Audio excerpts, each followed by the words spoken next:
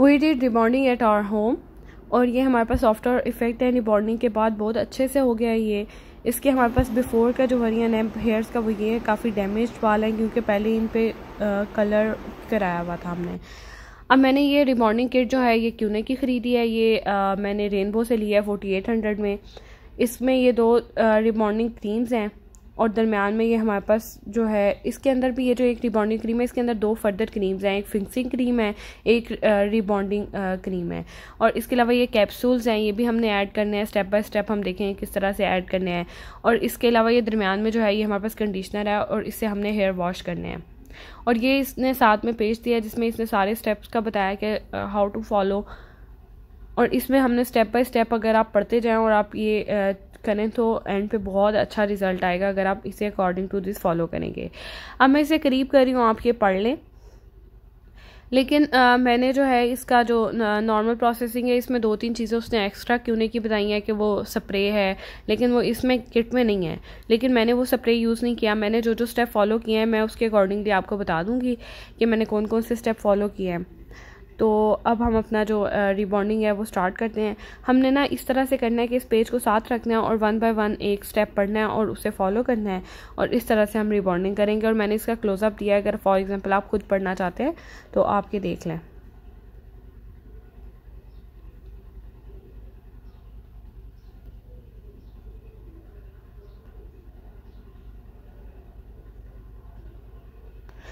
अच्छा अब ये जो रिमॉर्निंग का आगाज़ लिखा हुआ है, ये हमारे पास जो फोर्थ स्टेप है, इसमें कहते हैं कि एक क्यू ने silk and shine rebonding cream में दो अदद क्यूने हेयर कैप्सूल शामिल करें।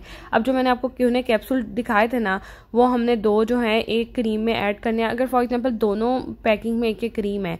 अगर आपके बाल ज़्यादा हैं तो आपको दोनों creams at a time use करनी पड़ेंगी और दोनों क्रीम में दो कैप्सूल ऐड करके तो वो अपने बालों पर लगाने हैं। और फिर कहता है कि हाफ़ सेंटीमीटर का जो है ना डिस्टेंस रखना है फ्रॉम स्कैल्प यानी सर की स्किन से। तो वो हेयर के लिए डैमेजिंग हो सकता है और इसे हमने फिर forty to forty five minute के लिए वेट करना है। इसे लगाने के बाद। अब हमने इसके लिए बालों के सेक्शन कर लेने हैं और फिर 40 टू 45 मिनट वेट करना है। और हमने कोशिश करनी है कि ज़रा जल्दी जल्दी हम बालों पे लगा लें कि एक ही टाइम पे हम टाइम स्टार्ट कर दें और 40 टू 45 मिनट बाद हमने जाके क्या करना है हेयर्स को वॉश कर लेना है। और उसके बाद वॉश करने के वॉश करने से पहले जो है ना, आपने दरमियान में स्टैंड टेस्ट करते रहना कि एक बाल को पकड़ के खींचना अगर वो ज़्यादा डैमेज हो रहा होगा ना, फौरी तौर पर टूट रहा होगा तो आपने वैसे ही जाके बाल जो है वो वॉश कर लेने हैं।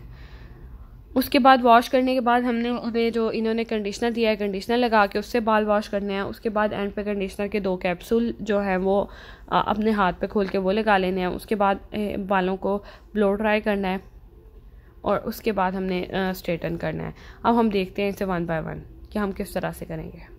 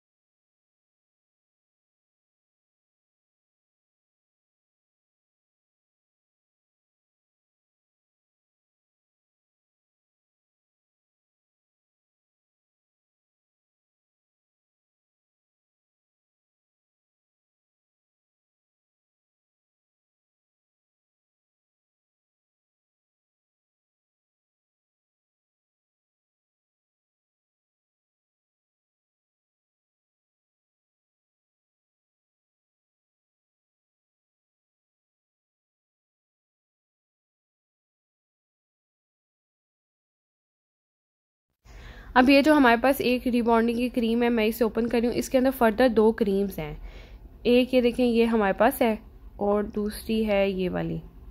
एक ये हमारे पास जो है ना ये आ, फिक्सिंग बॉम है और ये है हमारे पास रिबॉन्डिंग क्रीम अब हमने रिबॉन्डिंग क्रीम पहले यूज़ करनी है। फिक्सिंग बॉम पहले नहीं यूज़ करनी। अब हम क्या करेंगे कि दो आ, ये रिबॉन्डिंग क्रीम ऐड करके एक बाउल में और इसमें हम दो कैप्सूल्स जो हैं वो ऐड करेंगे।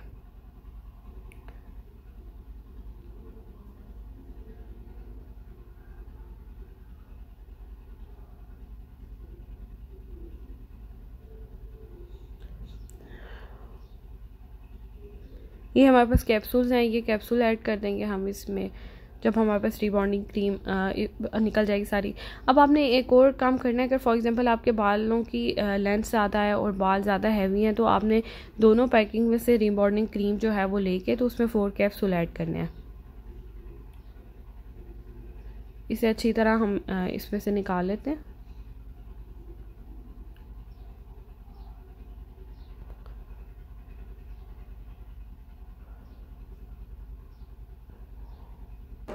अब हमने यहाँ पे जो हेयर्स के फोर सेक्शन बनाए थे ना, अब हम इसमें वन बाय वन जो है, सारे सेक्शंस पे जो हमने रिबॉन्डिंग क्रीम के साथ दो कैप्सूल ऐड किए थे ना, ये लगाना शुरू करेंगे। अच्छा मैंने पहले जो ट्राई किया था वो मैंने हाथों से ट्राई किया था इस तरह से लगाना, लेकिन ना ये इतना इफ़ेक्टिव नहीं रहा। तो जो मैंने आपको सेकेंड अटैम्प बताऊँगी ना अपनी, वो ज़्यादा अच्छी है, यानी उसमें आपने एक हेयर कॉम पकड़ के ना, उसकी मदद से इसे लगाना शुरू करना है। तो वो बहुत इफ़ेक्टिव रहा था।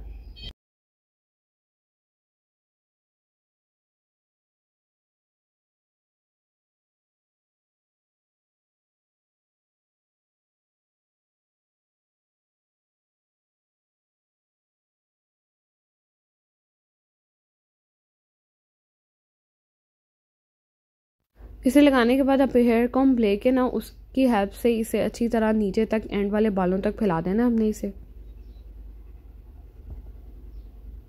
हम इसे अच्छे से लगाएँगे कि कोई ऐसा बाल ना रह जाए जिसमें ये ना लगी हो नीचे तक बालों की लेंथ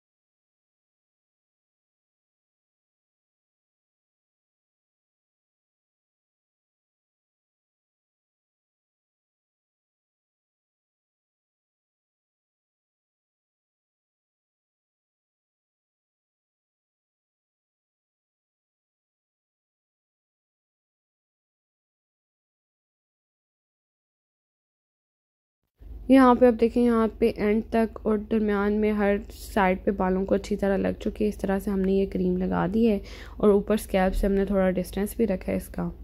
अब हम ये हमने सिर्फ़ अभी एक साइड पे जो हमने चार पार्टीशन की हुई थी, उनमें से एक पे लगाई है। हमने चारों तरफ़ लगाना है इसी तरह से।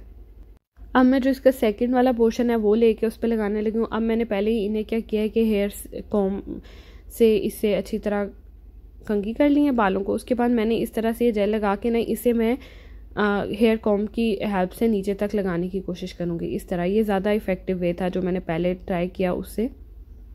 यानी आपने पहले अच्छी तरह कॉम्बिंग कर लेनी है, उसके बाद लगा के क्रीम रिबॉन्डिंग क्रीम और उसके बाद उसे कॉम्बिंग अगेन स्टार्ट कर देनी है कि बालों में वो अच्छी तरह नीचे तक चली जाए। अगेन लगाएँ और फिर उसे कॉम करना स्टार्ट कर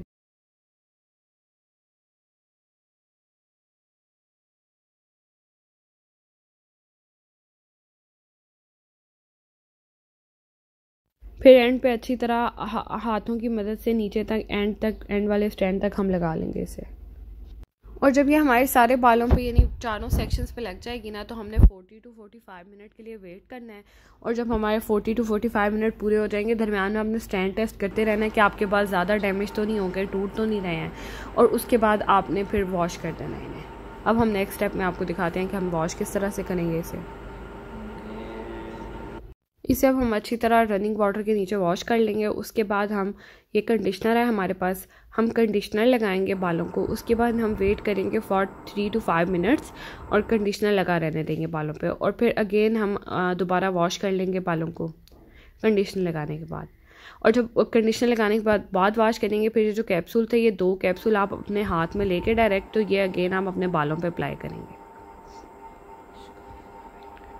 उसके बाद हम हम वेट कर रहे हैं और आ, हम ड्राई करने की कोशिश कर रहे हैं बालों को। और ये हमारे पास बाल ड्राई हो गए हैं। और ये काफ़ी इफ़ेक्ट अच्छा लग रहा है ड्राई होने के बाद। उसके बाद जो नेक्स्ट स्टेप है वो आयरन करने का अब हम बालों को अच्छे से आयरन करेंगे। इसमें आप एक बालों का स्टैंड लेके उसे दो से तीन दफ़ा आयरन करें। यानी इस पर तो वैसे सिक्स टू एट टाइम लिखा हुआ है। मतलब इस तरह आयरन करने हैं कि वो बहुत अच्छे वाले स्ट्रेट हो जाएँ।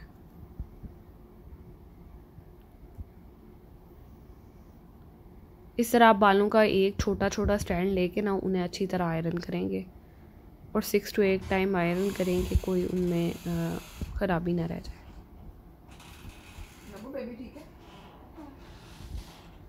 इस तरह से हम अपने सारे बालों को जो है वन बाय वन करके आयरन कर लेंगे बहुत अच्छे वाला आयरन करेंगे।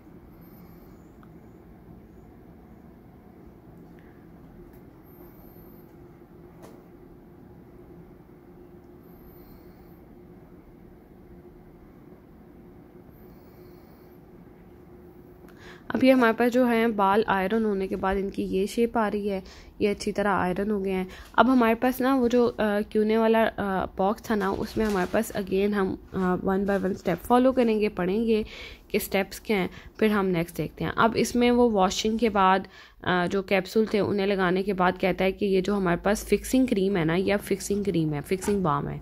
फिक्सिंग बाम को डालना और उसमें अगेन दो कैप्सूल डालने हैं। फिर बालों को चार सेक्शंस में डिवाइड करना है और फिर ये बालों पे हमने ये फिक्सिंग बाम लगा देना है। और इसे लगाना ज़रा इजी हो जाएगा क्योंकि बाल इस टाइम काफ़ी स्मूथ हैं। अब हम फिक्सिंग बाम लगा रहे हैं। अगेन वैसे ही चार सेक्शंस में डिवाइड करके थोड़ा सा बाम लगा के उससे हम कॉम की हेल्प से फैलाने की कोशिश करेंगे और एंड तक बालों में हम फिक्सिंग बाम लगा देंगे।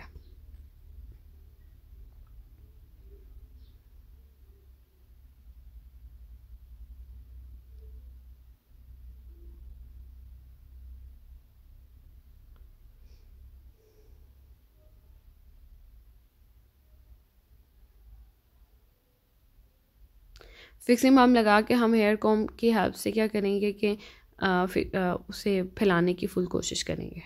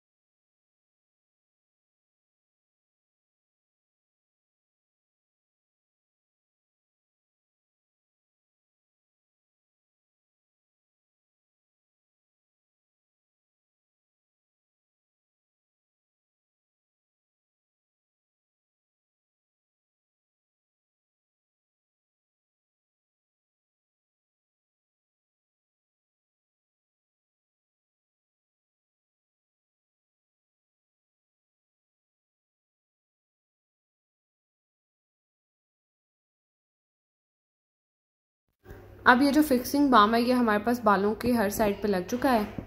इसके बाद अगेन हमने बाल जो है रनिंग वाटर के नीचे वॉश करने हैं। उसके बाद बालों को वॉश करने के बाद जो इन्होंने हमें कंडीशनर दिया हुआ है, वो लगाना है हमने। कंडीशनर लगाने के बाद हमने दो से तीन मिनट अगेन वेट करना है पहले की तरह।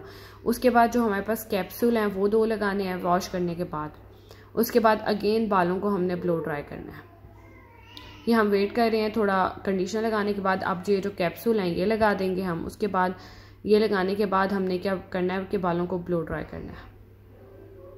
उसके बाद ब्लो ड्राई करने के बाद अगेन हम इन्हें सेक्शंस में डिवाइड करेंगे। सेक्शन में डिवाइड करने के बाद हम इन्हें लास्ट आयरन करेंगे और ये आयरन भी बहुत परफेक्ट होना चाहिए। सारे बाल अच्छे से आयरन होने चाहिए। उसके बाद जो लास्ट वॉश है वो हम तीन दिन बाद करेंगे इसके।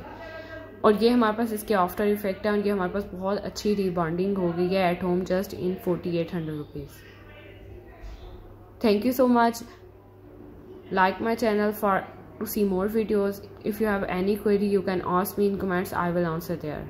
Thank you